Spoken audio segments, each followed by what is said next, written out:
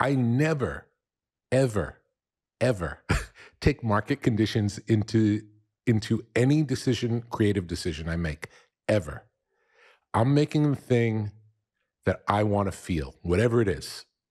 And then and and the and that's not because I don't care about the audience or I don't care about the business. I know that if I feel it, that's my best chance of someone else feeling it.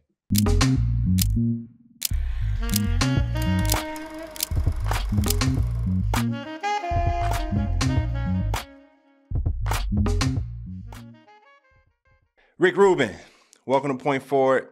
Thanks for joining us. My pleasure, sir. I always see you, you know, just dropping a lot of wisdom. So, you know, for me, super excited that we get to talk to you today. Try my best. you know, you look comfortable. Where are you at in Costa Rica? Yeah. I, I went for a long time in my life without taking any vacations. And then I started taking vacations just to like not work for a, you know, a week or two.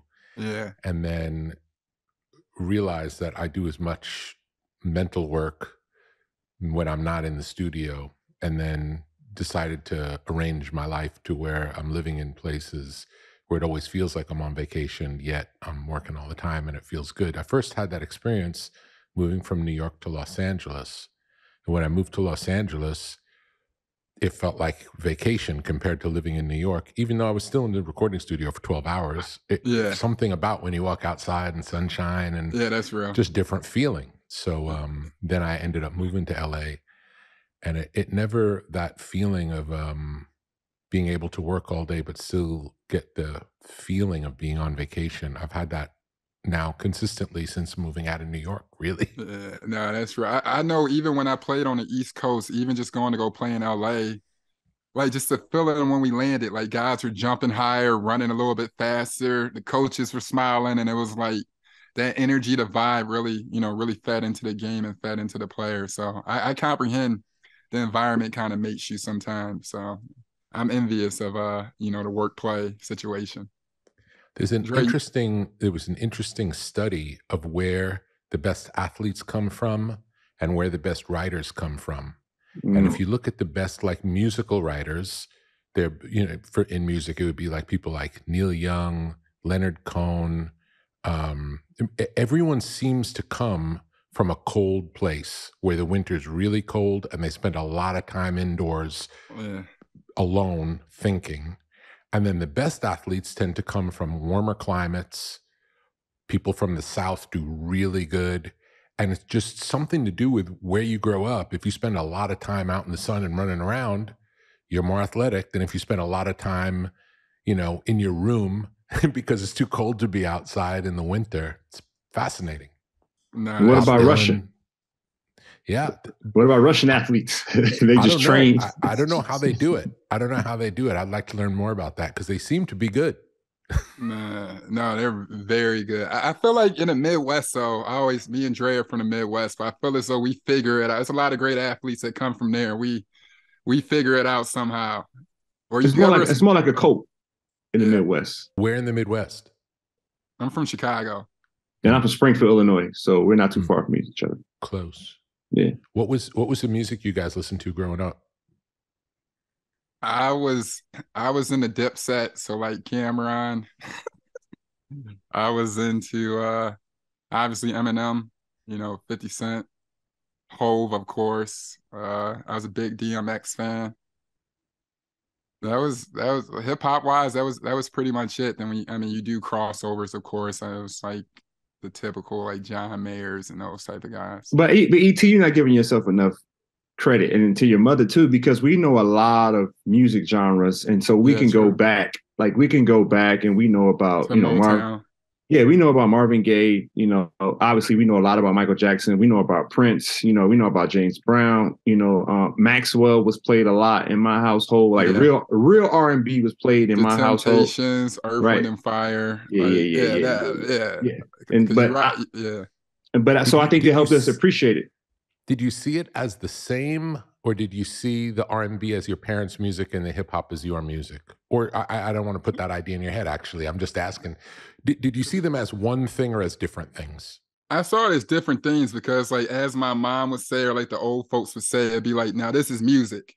And respectfully yeah. enough, it was like to stay within like my bounds, to stay within like my everyday life. Like I comprehended that like what my mom listened to was like music. And then like, of course, you know, with hip hop, it was music for me. But I, I like the Motown days, like Temptation, all that was that takes you back to like a crazy, just dope time. You know what I mean? Like in my personal opinion. Cool. How about you? Do you think it's the same?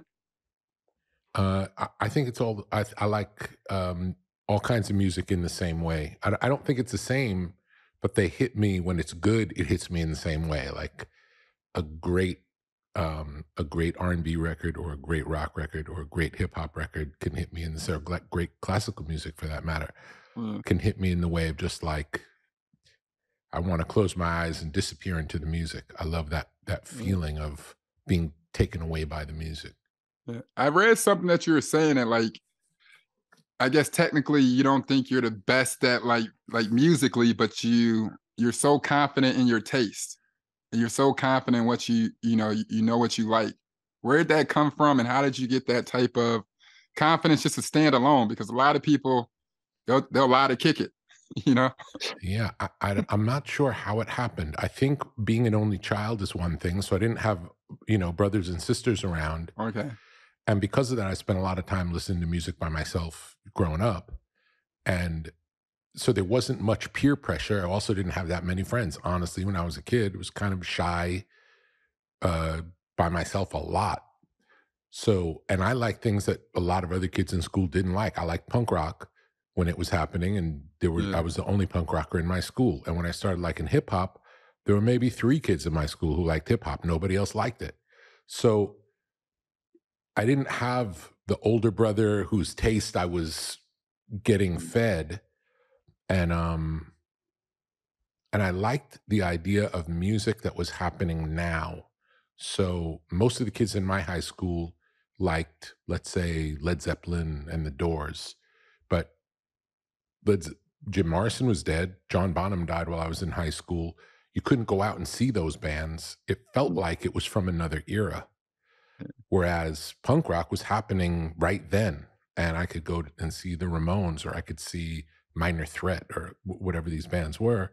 And it felt more like this is happening right now. And I like that. Um, it felt like it was r- real because it was now somehow for me um I don't know, never really thought about it before, but I think that's that's what it is. Something about in the moment knowing, oh, they're making this music right now and I can go see this and it's not from the past, it's not historic. Seemed to mean something to me when I was a kid. Right. So I, I want to touch on that. You know, you speak about in the now. And in your book, you know, the creative act, it's almost like a daily manual we can connect with.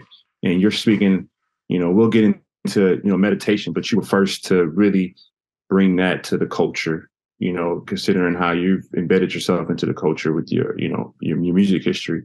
Um, but when you say living the now, when did it occur to you, or when were you aware that this is something that people have to identify more and more with? Because now we're in the we're in the age where it's instant gratification. You know, we don't do things for the now. We don't do things to uh, enjoy the day. You know, you were talking about in your book, you may see something 10 times, but you should really appreciate it all 10 times. Uh, I, th- I think because I started meditating when I was young, it allowed me to, it was like a reset button.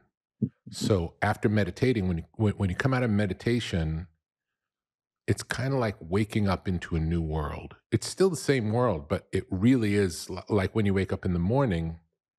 But there's something different about when you meditate, when you come back, and you, it, it, feels like you could see things more clearly and more. It, it's like you get out of your own head and you mm-hmm. start seeing what's around you. And then I've done these other meditations. The earliest meditation I did was a mantra meditation with my eyes closed but then I've done these other awareness meditations where you practice paying attention to what's around you. It's fascinating. It's interesting, you know, if you close your eyes and listen to what sounds you can hear in the room that you're in, and then what sounds you can hear even while you're sitting there from outside, and differenti- differentiating the different sounds that are coming at you all the time. Um, you start noticing little things like the sound of when the power goes out and you're aware that the sound of the refrigerator is off. but when power comes back on, it goes, and it's like, wow, that sounds on all the time. And I never notice it because it's on all the time. And I just, my brain erases it. So we, we are, we erase the things that are ever present. It's one of the, um, it's one of the interesting things in music production. Another thing I've never talked about before, but I learned early on with drums that if the drums are playing a very straightforward pattern and not doing anything to draw you away from that pattern. So, in other words, if the drummer's playing a beat but not playing any fills, but just playing the beat, you can make that beat very, very, very loud compared to everything else that's going on. And it doesn't you still hear everything else that's happening even though the drums are loud because the drums never the drummer never does anything to get you to look back at the drums. So once it's established that the drums are going and the drums are loud as long as there's no da da da da da to make me listen to the drums again the drums sort of disappear. Now you still feel it you could still dance to it but you don't focus on it because it's unchanging.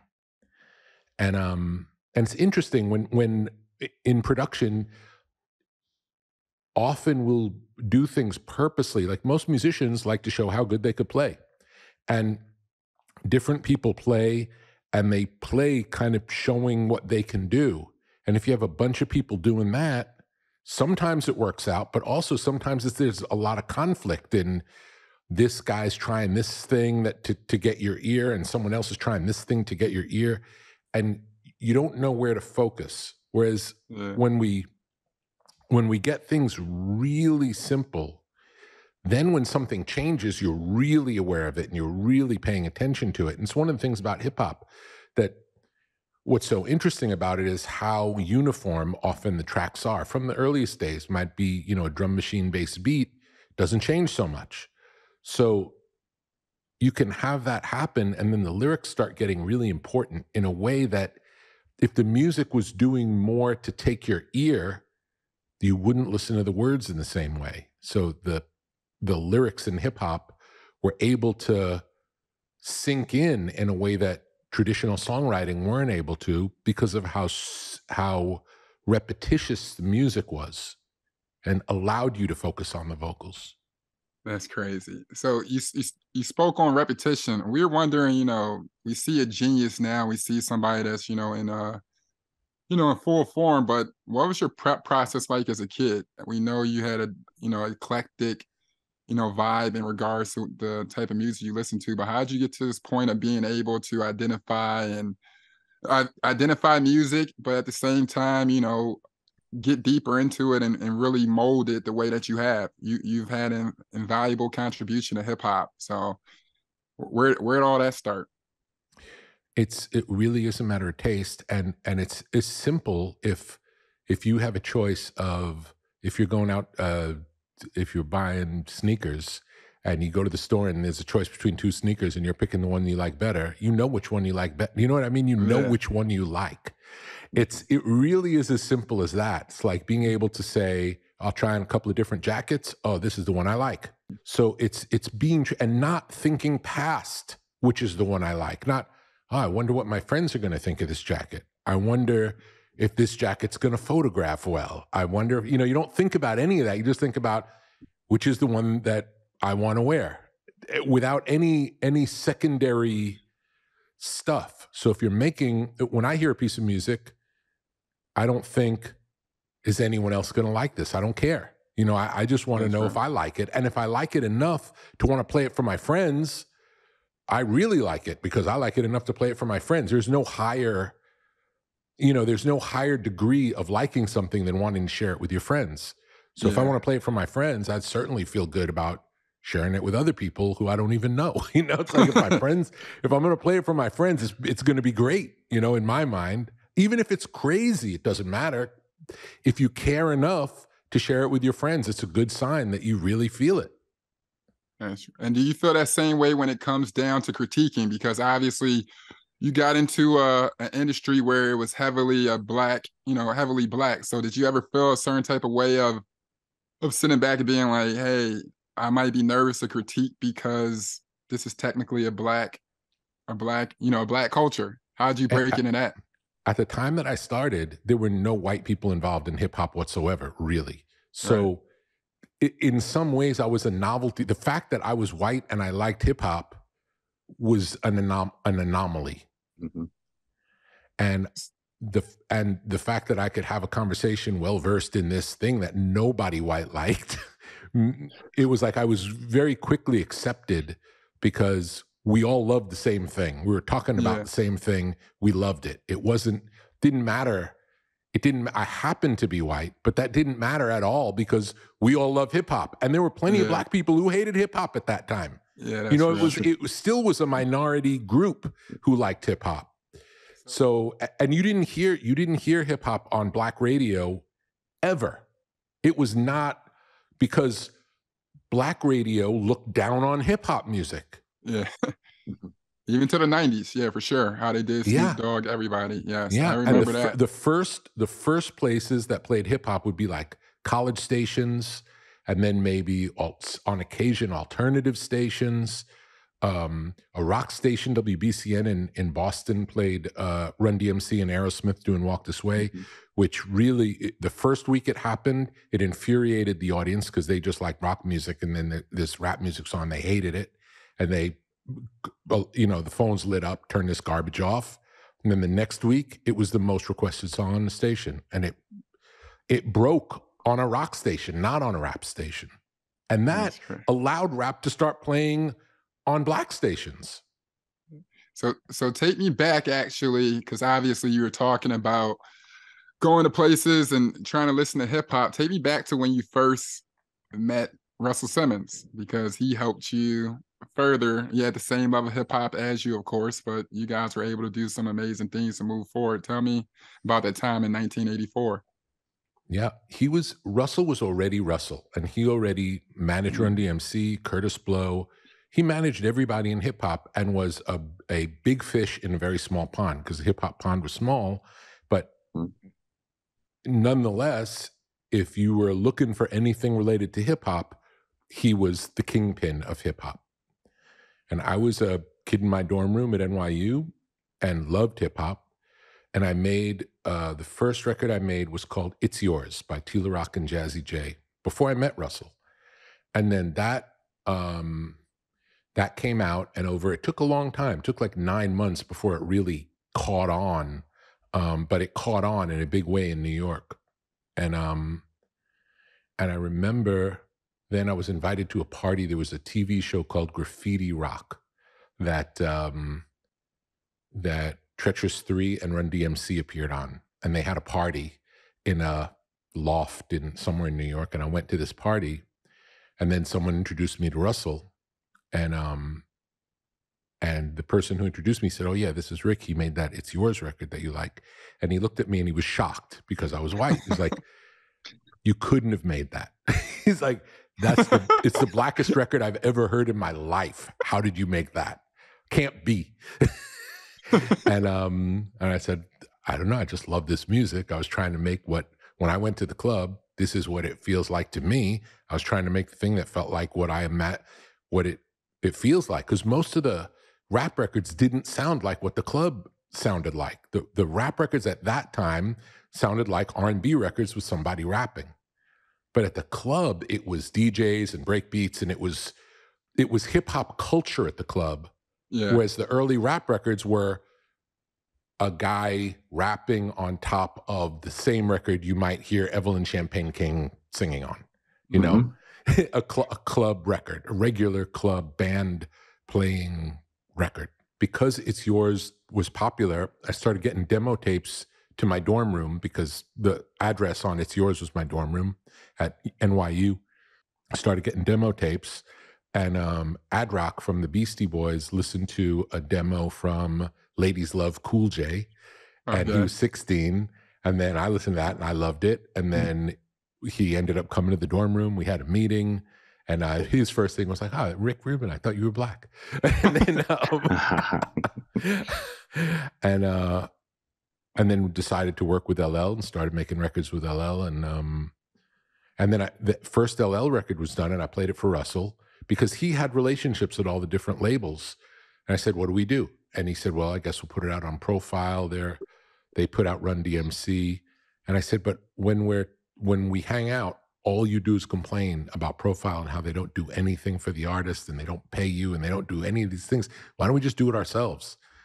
And he's like, "Oh no, someday I'm going to start a big label." And I said, "Okay, listen, I'll I'll make all the records." I'll do all the work. I'll do everything. You be my partner. He's like, okay, let's do it. and then because I knew the reason I, I wanted him to be my partner is I again, I'm a kid in school. If yeah. he's my partner, even if I'm doing it, it's it's real. Do you know what I mean? Like it, yeah. it, it made it real because he was a real person and I was a kid in school. So that's how. And I knew that once something started happening, he'd be interested. And as soon as it got, as soon as people started liking it, he got more interested, and it was it was great. It was a great relationship at that time. Originally, you talked about uh, college stations, which is kind of like grassroots recruiting, and then eventually you started seeing going from college stations to TikTok to streaming services. So, like, how do you feel about that industry kind of switching in order to, you know, advertise and public music? Because nowadays it doesn't matter so much about how good the music is, more so if it's trendy, you know? It really happened. Yeah, has it hurt music, you think? Well, first I'll say it, the only reason hip hop broke through was because the people liked it. It wasn't because the powers that be supported it. The powers that be did not support it. The powers that be did, wanted it to go away and wanted to ban it. So it was truly like a from the street revolution of young people making something they love and caring about it and radio stations being forced to play it just based on popularity. Like if it's everyone's favorite and the station doesn't play it, the station becomes irrelevant. Right. So, they saw that they were becoming irrelevant by not playing it. And then the way they started getting into it was just okay, we'll have a weekend master mix show, Friday night, Saturday night, where we'll play hip hop for a couple of hours. And that was how it started and then those were the only shows that people listened to on those stations or or they the ratings on those shows was so much higher than everything else that something could make it from the master mix show into the you know tested in the regular playlist and then records started breaking through and once they broke through it it never went back you know like it was uh it really was a revolution in music but during that revolution i know you can't say it but i have to ask you who do you think was like one of the best or some of your favorite hip hop, you know, personalities from that time. I always hear LL Cool J say he was the greatest of all time and everything. And uh, you know, of course, there's a couple people that can battle for it, but I, I want to know from the early days to start, who was somebody that you're like, they need to hear this. This is unbelievable. Well, I, for me, Run DMC really changed the game. Yeah, because before Run DMC, it was more like uh, a, a lot of rappers felt like descendants of Parliament Funkadelic. And I love Parliament okay. Funkadelic, yeah. but that was more like leather boots and more of an R&B slash sci-fi look. Okay, like a Johnny Gill type vibe? Yeah. And then, yeah, okay. but then, um, or, or in its later day of success, like Diddy, you know, Diddy would have been more of an R&B R&B rapper. Yeah, yeah, for sure. Whereas Run DMC were like B-boy street, which we, which was what we all liked the best. Everyone I knew liked kind of the the harder core style of rap. And um and then that led to you know and and that's the lineage like Run DMC is what led to NWA and then NWA is what paved the way for Wu-Tang and yeah. and do you know what I mean? Like that, no, those no. are more like the street, the street side of hip hop. There's always been a more polished side, and I would say yeah. LL, even though he can, he's a hard rapper at times, he's still more of a slick rapper. You know, he's more of a, um, he's more elegant, yeah. and it's beautiful. Um, so so in terms of just like the hardest, we liked Run DMC and then NWA and then Wu Tang. what, what was the vibes like? I know Run DMC was the prototype for the most part, but when Beastie Boys came along, what were the vibes like then? How were they accepted? Was it kind of like a thing nowadays? Like, ah, here we go. Like they say, paint white on it, and then we throw it out there. was it like a thing where people were really like mad hyped to see them? And and during that time, coming out of Detroit, what was your approach to you know to working with them? Were you kind of skeptical and being like it's a white rapper, or were you like bet not at all? It? No, no, no, because yeah. it was all of it was pure because there there wasn't any thinking about what anybody was going to think. We just loved this music yeah. and did the thing we loved, and people liked it. If they wouldn't have liked it, it would have been okay too. Do you know what I'm saying? It's like we weren't yeah. we weren't doing it to be liked. we were doing it because it's what we liked. Yeah. And um, do you know what I mean? So it was a very yes. personal. There was no when when the Beastie Boys started, it wasn't like there was any possibility that they were going to be a popular band. Right. You know, that wasn't realistic. No one was thinking they were going to be big. No one was thinking any hip hop was going to be big. Anyone who was making hip hop records at that time was making hip hop because they loved it, not because you were going to turn into Michael Jackson, because it was not Michael Jackson. It was this other underground thing that the only people who did it were the people who loved it and the rest of the people didn't even think it was music all right so then let's go back. When did you know it was like officially your destiny? Like when did you know that you like you were locked into this and it was worth i guess picking up from new york and moving to la because not everybody was open to it and so sure but give us that moment where you're like you know what bro hip-hop is here. I, I i don't know like i'm i'll say considering where it came from to this day, I'm shocked at where it is because you couldn't ever predict yeah. it. It was not, you couldn't predict it happening. It, it's, it was whatever the most fringe, obscure, small thing was, catching on in a way that it changed the whole world. I never saw it happen before with any. I guess the closest example like it 50 years earlier would have been rock and roll. You know, Chuck yeah. Berry and Little Richard and Elvis Presley, yeah. the music before them was different than the music after them. They changed it. Hip hop did that. It like it it changed everything from what was before. And there was there'd be no possible way to know that could be. So so we were so it, it was more of a after the early days of Def Jam, we had a lot of success um, then Public Enemy came next after uh, after the Beasties and LL and Run DMC. Then was Public Enemy, and then it started feeling like hip hop was getting big. And when hip hop yeah. got big, it changed. And in my opinion, it changed for the worse because what changed was at that time, in that in that immediate time, was that people didn't it, originally the people who were doing it were doing it out of the love of this thing and had their own take on it. And you could you could hear a new, you know, a Mantronix record come out and they would be like, whoa, that's really cool. That's different than everything we've heard before. And it was so cool. And um, and it was like a lot of cool artists making original things and inspiring each other. And then when when the Def Jam records got big, then all these artists started popping up just sounding like Def Jam artists and it felt like it's not interesting. You know, like it felt like it all got watered down. Um, and then how'd you get your inspiration from there? I, I know you call yourself a reducer, and the the the definition comes from you actually going to the clubs and playing what people hear at the clubs much more than the creative side of it. Is that true or not, or what?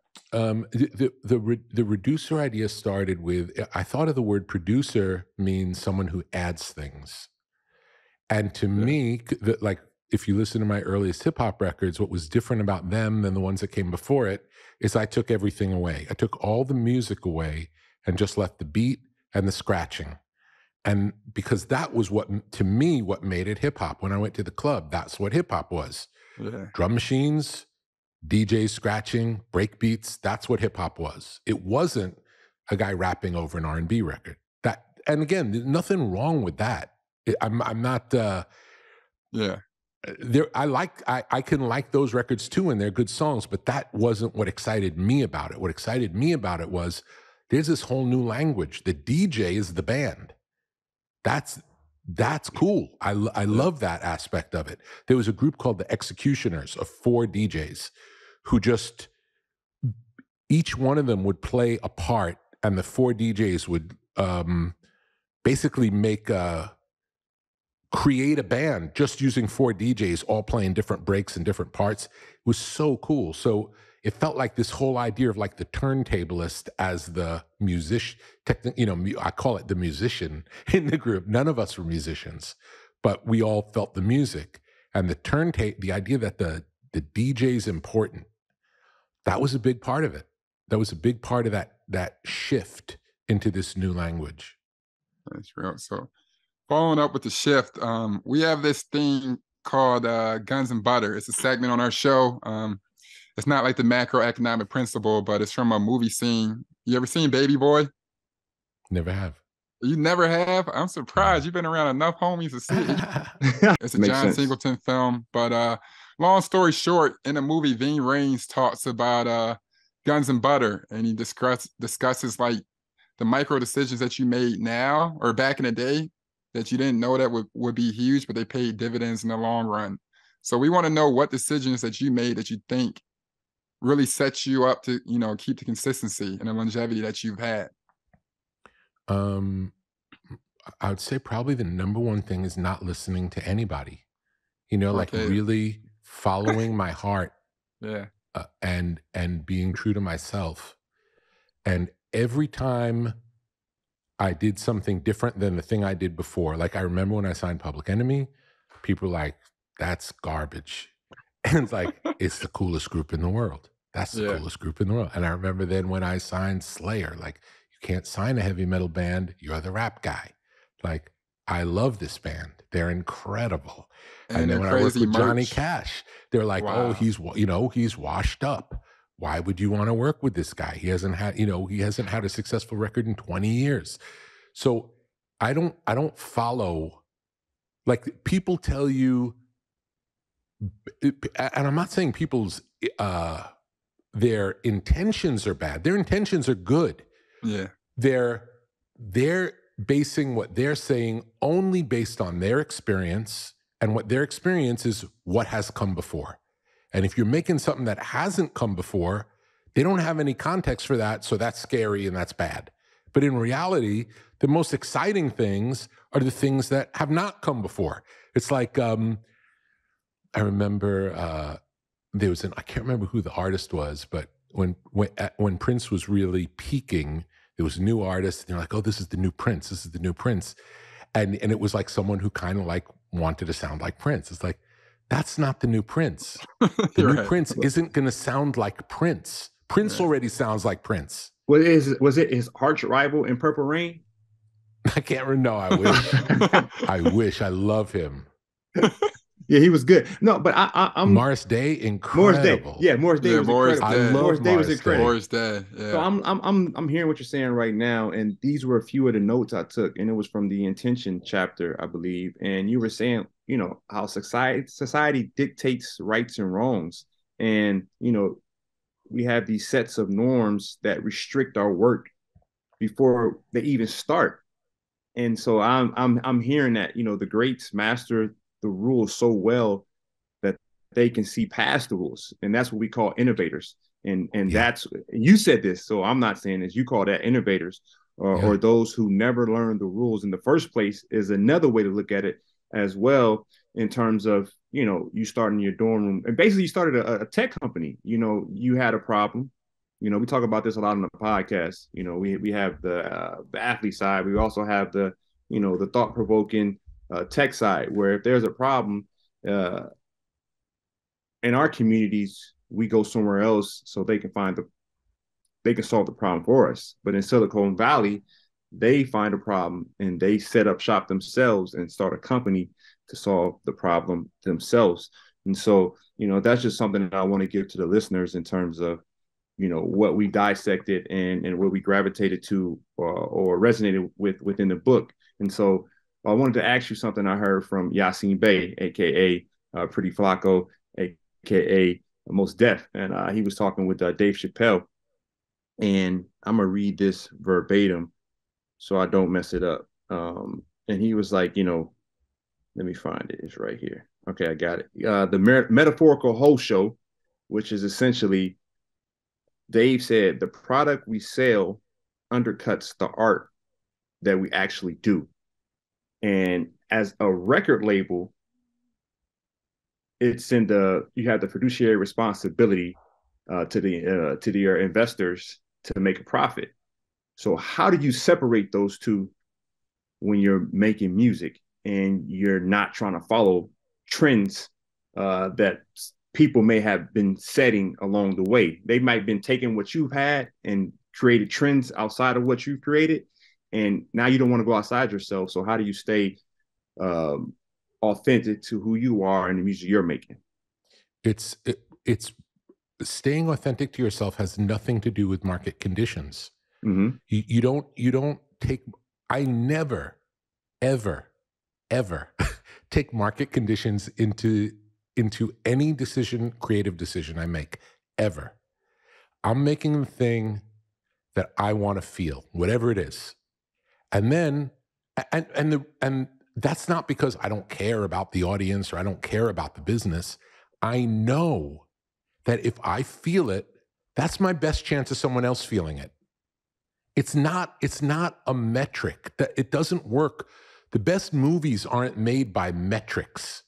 you know what I mean? The best mm-hmm. movies are made by you know people like Quentin Tarantino yeah. who who feel it and who are making the thing that's the most important thing to them and that maybe no one else would or could make. Mm-hmm. So the metrics tell you what is. We're making what's not. There's no metrics for what hasn't been yet. Mm-hmm. Mm-hmm. So we're always kind of starting from scratch. We're always making the coolest thing we can make. And, you know, there's that old expression, you know, build it and they will come. It's kind of like that. They may come and they may not, but that's not the reason we're making it. So, yes, the responsibility that you have as a leader when someone has invested in you is doing what you think is going to have the best results. Mm-hmm. And what I think is going to have the best results has nothing to do with any metrics. Like if you hear a joke or if you're a comedian and you write a joke and you think it's funny, no one can tell you that it's not funny. It might not be funny, but no one can tell you that you don't think it's funny. Do you know what I'm saying? Yeah. No one can tell you that you're that the girl that you like isn't beautiful. That's you know, real. like no one. No, that's real. Yeah. Do you know what I mean? We, we all have our own. We see what we see, and when when we're in in when we're involved in creativity, we get to share the thing that we think is the beautiful thing, whatever it is, and it's not for anyone. And if someone else doesn't like it, that's fine. It's not for everybody, it's for us. And no matter what, when you go to sleep at night, you know, whether they like it or not, I know this is my favorite thing. Uh, there's a quote that you said. It says, I get bored with competing with others, but rather compete with making myself better than the day I was before.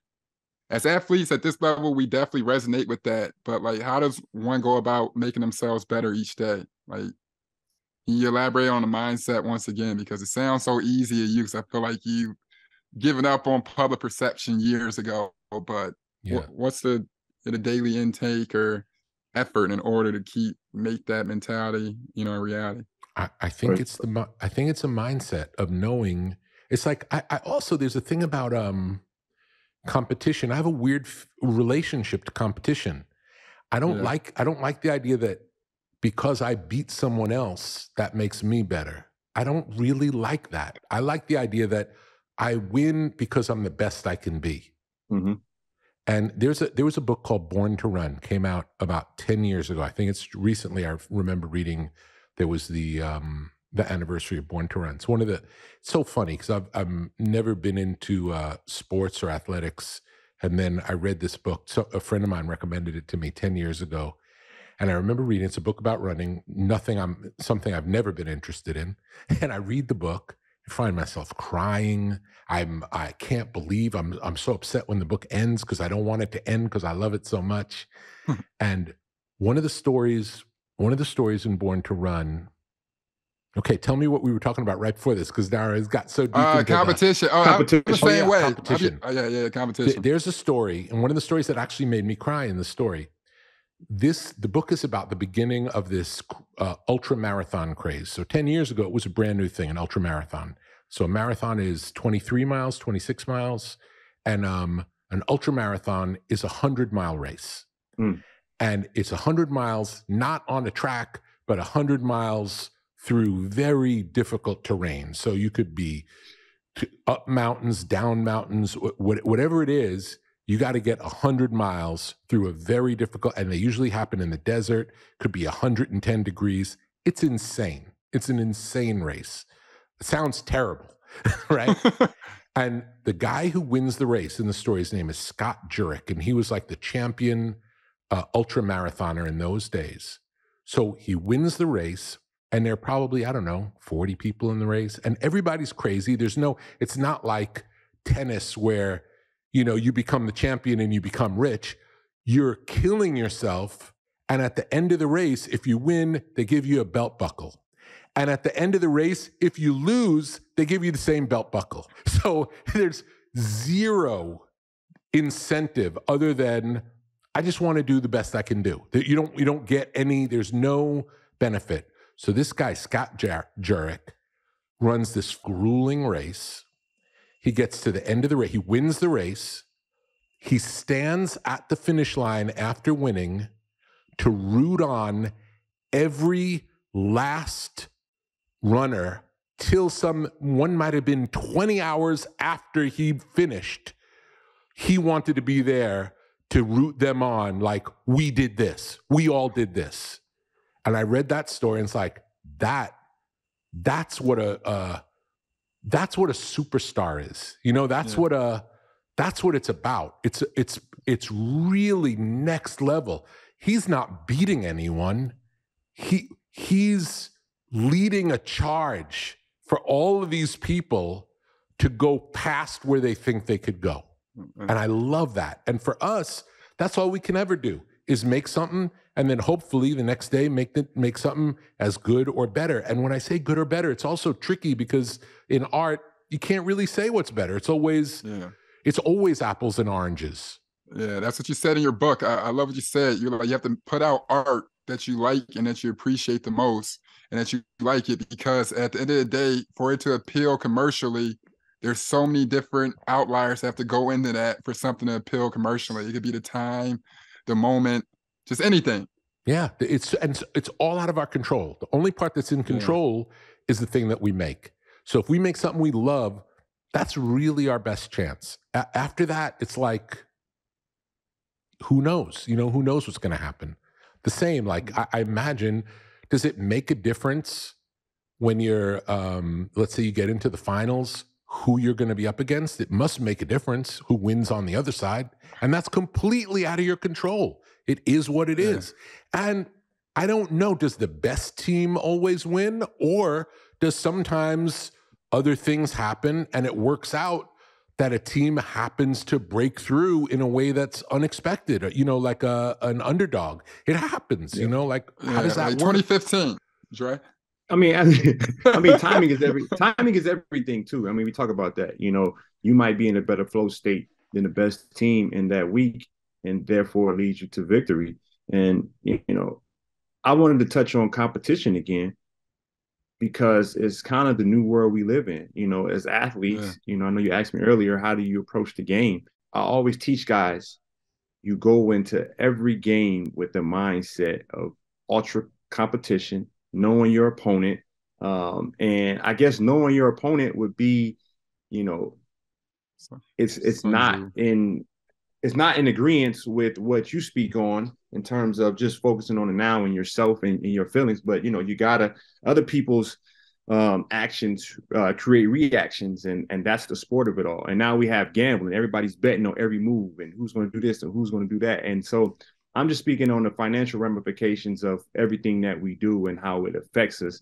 And, you know, I, I struggle sometimes with how do we just keep it about the art and not let the financial side of it outweigh the art side of it. And and that's been my biggest um issue with being in sport is that I truly love the game, but the business side of it, uh, it, it turns the actual game sour on me and it affects my mood greatly. You know what I mean? I it's like a daily Absolutely. struggle that I have. I understand. You know, and I sit on these boards, you know, and I have these conversations, you know, whether it be with, you know, uh, with the ownership groups, the governors of teams, mm-hmm. or the NBA office, or even referees within the game, and I'm, you know, I'm so torn, and then you're emotionally you get out of whack because you truly care about that art, and uh, it, it throws your mental out of balance as well. And I think that's where a lot of our mental health issues come from, is that, you know, we we go about life thinking about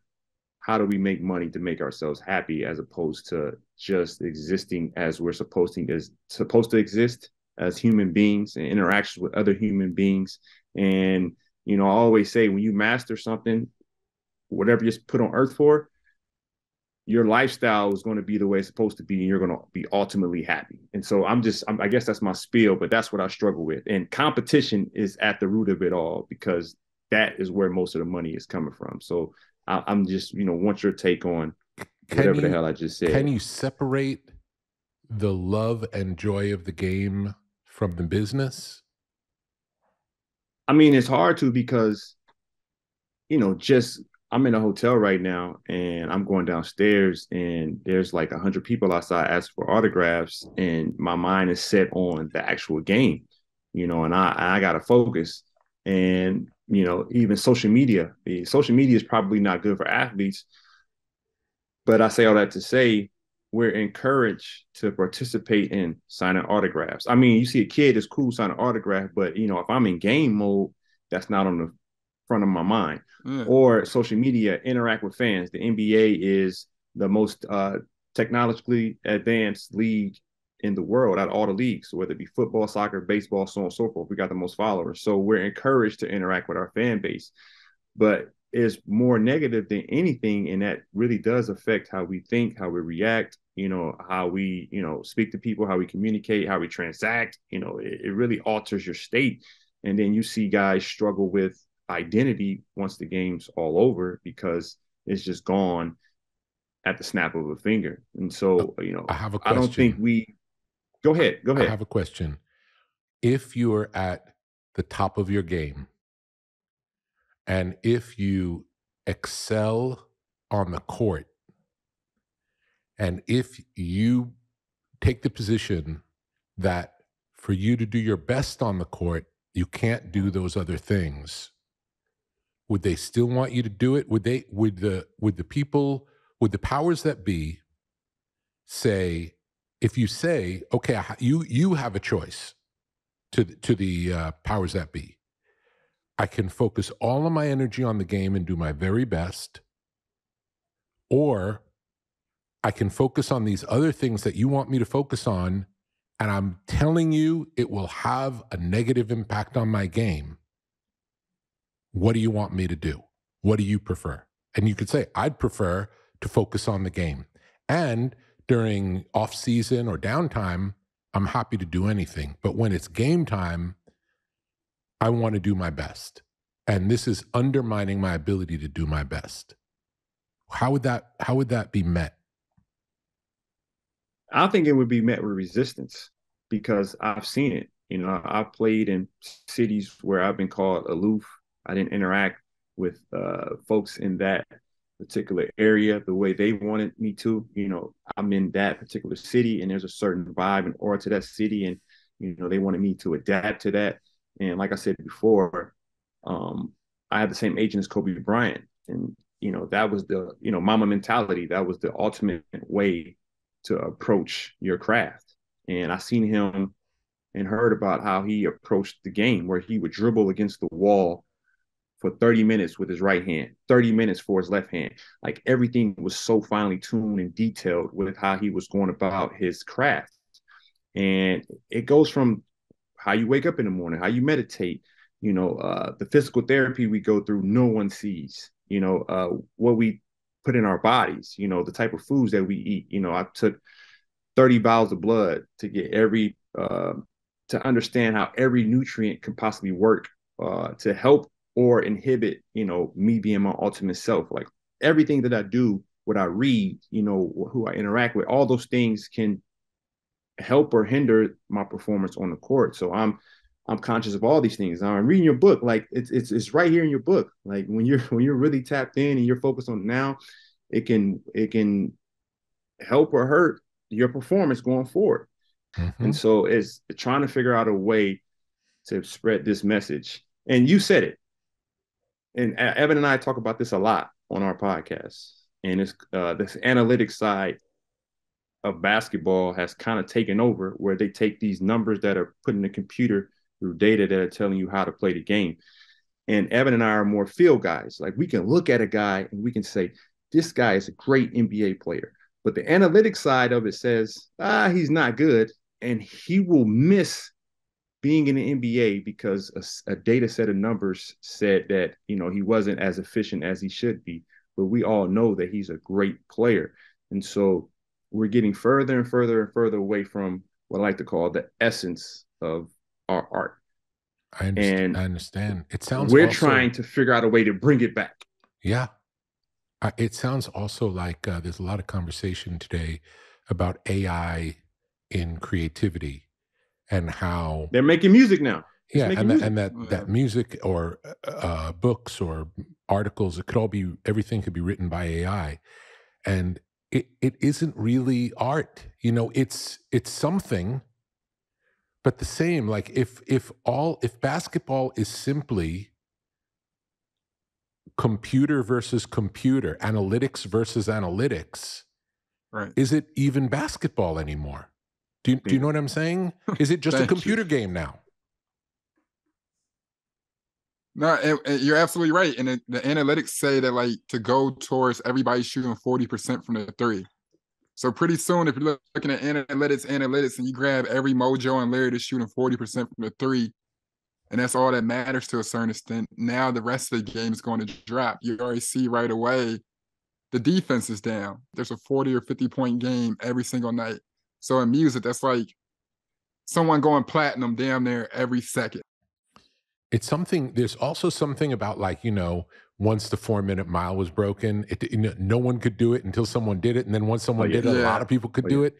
There is something about when you break when you. It's like the people's understanding of reality changes when a when a when there's a record broken as soon as yep. we understand it can be done, that changes things. That's also why yeah. when we're, you know, as artists or creative people, starting with the idea that it can be done, whatever crazy thing it is, is a really healthy way to go about doing stuff. Just because no one did it before doesn't mean it can't be done, just means we haven't done it yet. Yeah. And to always be in that mindset of, I feel like there's a way to do this. I'm going to figure out how to do this. If you see a way in, maybe you see a way in that no one else saw before. Or maybe you're willing to outwork everyone in a way that no one else was willing to do it before, hearing the story about Kobe's dribbling, you know? Yeah. So I told the story like only like once or twice, but I remember being in the game against the Detroit Pistons and um, Rip Hamilton was uh, one of my favorite players when he was in college at UConn. Like I remember drawing on my notebook in school, like his name in bubble letters, and after they won a national championship. So like he was one of my favorite players, and so playing against him, uh, I was kind of in awe. And so I was telling Allen Iverson, like, man, this dude's an all star. Like he's so good, he doesn't get the respect he deserves. And Allen Iverson, he was like my big brother. He was so cool with me. He was always telling others how good I was as a rookie. Mm-hmm. And this was the probably the first time he kind of snapped at me. He was like, man, you better than all of them. Like I don't, ever want to hear you talk about somebody being good. Cause like I would go into the game, certain games excited. Like he would see me excited against Vince Carter. He would see me excited against uh, Kobe Bryant. You know, he would see me excited against uh, Rasheed Wallace was one of my favorite players in college, you know, Carolina guys. And so, you know, he kept reminding me, like, you're that guy. Like, stop giving other guys so much credit. And, you know, because the NBA is, is all about confidence. Like, confidence can make or break you. You know, Evan and I talk about that all the time. You know, you go on a 10 game streak where you're playing well um, and your confidence is at an all time high because you can just be free. And it's only two guys per team in the entire NBA who truly play how they want to play. Everyone else has to take a little less of their game off the table for the greater good of the team, or they should, or and or the team just doesn't work. And so that confidence thing was really big for me. And I tell everybody that going into games, like, hey, whatever your role is tonight, be ultra confident in that. It's almost like a band. Like, you know, mm-hmm. you may not get a solo tonight, but I want you to kill, you know, your your drum part in this and bombs over Baghdad because it's what 112 beats per per minute. You know yeah. what I mean? So I want you to be super. Mean, but the next song you may only have five beats per minute, but I want you to be per- perfect in your role, um, no matter when or, or, or what time it may come. Is there any sense, like in the example of when you're playing against a player who you really love and respect and you think is great, where the the initial awe changes over the course of the game to more like this is something we're doing together? so for me, you know, there and, and you spoke about this in terms of competition, and and it's frowned upon to be friendly with guys in the game. And they always say, "How you gonna be friends with a guy uh, and compete against them?" But I actually think when I played against Evan Turner, I was locked in because I knew how good he was. Yeah. And I only surround myself with people who are either you know really smart uh, or, or bring value to me as a person. Like I, I take a lot from that person. Like there's something about them that I think I don't have or I don't have as well as I want to have. And, and, and they kind of bring it out of me. Beautiful. So Evan's that guy. Beautiful. So when I played against him, like I would be super locked in. and, I don't know, I, I never knew what ET was thinking. Like, man, he playing hard against me. And I'm like, bro, I know how good you are. Like, I know you can beat us. Yeah. Um, so I had that mindset. And then we spoke about this earlier in terms of, you know, competition versus inspiration. And so, like my favorite players when I played against them, it wasn't really competition. Like you're saying, I played with them. It was like yeah. we were playing together, and it was yes. ultimate inspiration. Like I had my yes. best games against Kobe Bryant. I had my best games against him. Yes. Like my first game in LA, I'll never forget that game. It was probably one of the best games of my life. Like, and and I was young, and but I was just everywhere at one time. But yeah. it was just the inspiration I had got from him, and he did that for everybody. And I think yeah. that's why he's considered one of the greatest because everybody was so excited to go against him and show him their best, and he still came out the best player. And and I think that's the you know the ultimate respect. I think I'm thinking about something that we were talking about right before this about the uh, social media aspect versus what happens on the court, and it almost sounds like there are two separate separate things going on, and one is the athletics of the game. And the other is, I guess the word would be celebrity because the, you know, how many likes you have is about celebrity. It's not about yeah. how good of a player you are because, yeah. Uh, and if it was about how good of a player you are, then if you focus just on the game, then those numbers would go up. And I do mm. have a feeling if you really focused on the game and it showed those numbers would go up. I think. You but, but that's a that's a great point, and and Et, you can chime in on this. But when you're surrounded by nothing but cameras, like we have a dedicated crew just for social media, and you know I'm in I'm big on business myself. Like I invest in startups. You know mm-hmm. I have ownership stake in a few uh, professional teams and, and outside of basketball. Mm-hmm. And so I'm paying attention to all these things too because I have to put my my, my, my business cap on. And so, you know, I'm following other great businessmen and how they work. And so now we're saying this has become a part of the game. And Generation Z, this new generation, they just don't watch uh, basketball or TV traditionally the way we did. And so they're consuming on different platforms. And so we have to cater to that in order to fulfill the financial, like I said, the fiduciary responsibilities to the shareholders and to myself investing my time and money into having ownership as well. And so now we just caught up in the rat race.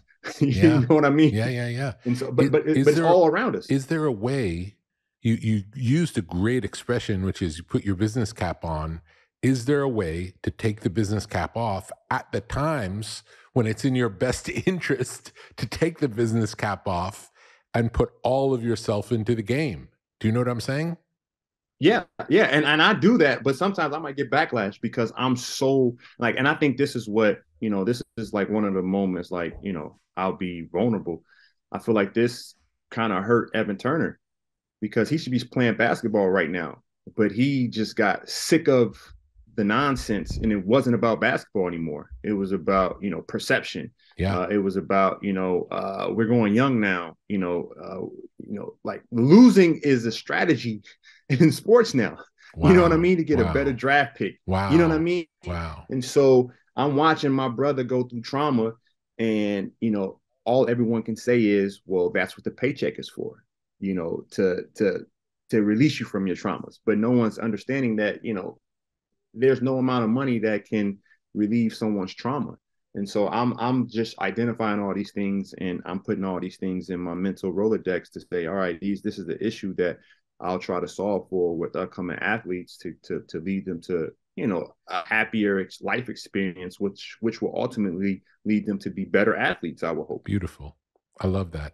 I have have a, a, a strange basketball question. I honestly don't know. I know almost nothing about basketball, but uh, at one point I was watching some games and there was the uh, I noticed different than from my childhood. Uh, there's the thing called the flop, and I want to understand both the psychology of the flop and why it has taken like why it's so con- it, it, ubiquitous in the game now, and is it good or bad for the game? I want to hear Evan's take, but we're both anti uh, floppers. Yeah, I'm like anti flop to be honest with you, it it I just don't think it's good for the game at all. Um, I understand like when James Harden was doing to get to the free throw line and you know those type of tricks of the trade. You can see it from from from certain areas, but like when you're preparing to really prepare and be like, hey, when I'm in a battle right now, I'm in a DJ battle. If it get ugly, I'm just gonna prepare for Yep. Like, you know what I mean? I'm gonna prepare and act like my my turntable just messed up. Like, do you wow. understand what I'm saying? Like, you're yeah. going to when you say preparation or confidence, it's like, all right, bro, I'm be confident enough to step up and hit this shot and shake them and get to the rack and lay it up. But like sometimes it comes off as like, do you lose your confidence when you're going to the rack trying to hope the referee calls a foul for you on some bullshit that you did? Yeah. I think, I, I, to be honest with you, for lack of better terms, I think it's lame as fuck especially yeah. when you see uh you get guys like the Kyle Lowrys or certain guys that made a living off it until you hit playoffs and then they didn't know how to really make shit happen from there. You know what I mean? But what what do you think, Dre? So that I mean, it's very similar. I think flopping came from.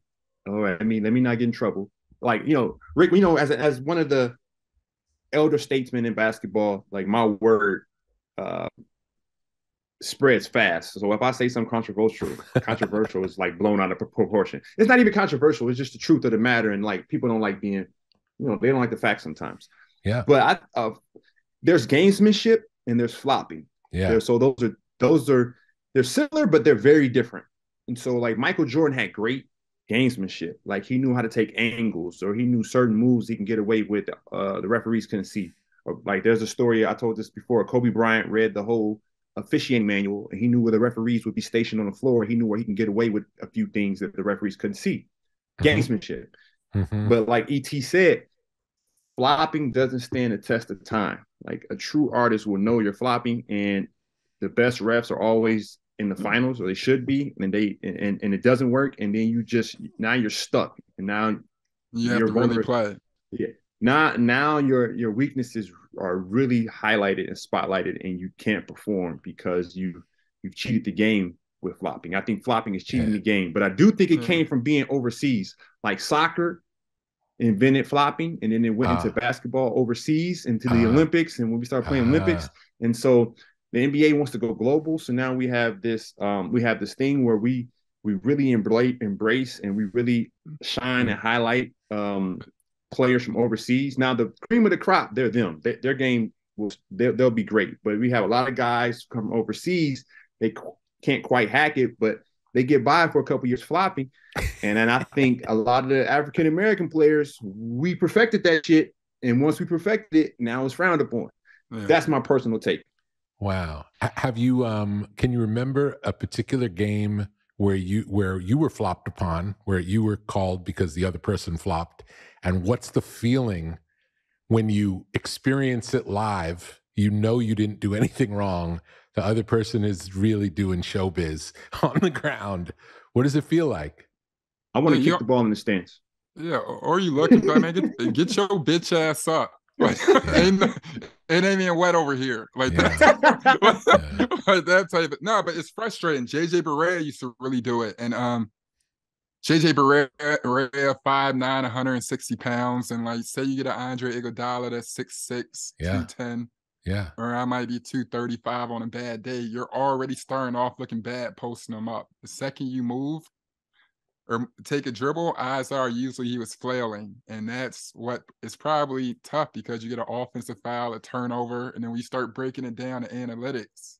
All that stuff matters. Yeah. You know what I'm saying? Yeah, yeah, yeah. So I, I wanted to ask you one more question. Yeah. Um, because I saw a Lil Baby say something about it, and then you, you mentioned it in your book. And um, I think it was something to say that art is basically just art. You can't rely on art or do art under pressure in order to you know make you money or like financial gains like yeah. you have to be uh, can, can you elaborate on that? Yeah it's a little bit like w- what i was saying about doing doing your best on the court versus celebrity that they're two separate things.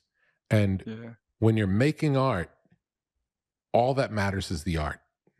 And then when the art's done and there are no more creative choices to make it's like you've you're ready to release it into the world, then you can put your business cap on and at that time say, okay, what's the best way to get this to the most people? What's it? But you don't, you don't put your business cap on before that. You don't put your business cap on while you're making it so mm-hmm. that the, the, um, the commercial aspects of it don't, uh, undermine the, the, the purity of the art that you're making. Cause the purity of the art you're making is the thing that, that's always what's going to live on forever. That's the thing. You know, that's the, uh, it's funny. Um, in the past, I've been involved with big record companies as well as independent record companies. And a conversation I overheard at a big record company is like, how do we get the artists to like go along with this plan? It's like, you don't want to come up with a plan that you have to get the artist to go along with. You want to find the plan that that artist is most excited about and is going to put themselves into it because that's what they want to do and they feel good about it and it's true to them. And it's not cookie cutter. You don't have you don't come up with the plan that worked for artist A and give it to all the other artists now because that's what we do now. That's not how it works. You have to see what's right for this artist what's important to this artist and how do we how do we change essentially how do we change the business to support the artists. Because in the music business we're not selling anything but the music. It's like it's all the only product is the art. That's all there is. So if we don't treat that as the most important thing we're doing ourselves a real disservice when we're trying to sell this thing that we're making. It's like if we're saying oh i know it's not really ready yet but it'd be good to put it out for christmas so we're going to rush it out we're not doing any favors for anybody do you know what I'm saying? We're not. Yeah, that's real. We're not doing it for. We're not. It's not good for the artist. It's not good for the company. It's not good for anyone. But it's that short-sighted mentality of the people who don't make art. They see it like, okay, there's a conveyor belt, and the best time to put out the new the new release. We got the new shoes coming out. Best time to put it out is this month. So we just plan it to come out that month. With art, it's not like that because it doesn't come out when you want it to come out. You can release it when you want, but in terms of the making of it, you can't make it on a schedule. It doesn't happen on a schedule. It's out of our control. We're waiting for inspiration. We're waiting for, um, the, the, you know, enough good songs to come. Finding the way to to present the song in a way that's exciting to you. All those things. Sometimes it falls together really fast. Sometimes takes forever. And we don't control that. It's like it's magic. It really is magic when it happens. We just are in awe when it does happen. It's a great feeling. But to go past it, like uh, I'll go into the studio with an artist and they'll play me a song like, I think this is my first single. It's like, we haven't even listened to any of the songs yet. And you're already thinking about what the first single is. Like, you know, one demo out of 30, this is going to be the first single. It's like, that's no way to think about it. Do, do you know what I'm saying? Like, yes. let's make the best body work we could possibly make. And then after we have the best body work we could possibly make, then we could put on our business hat and say, okay, now we have this thing that we love. It's beautiful, can't be better.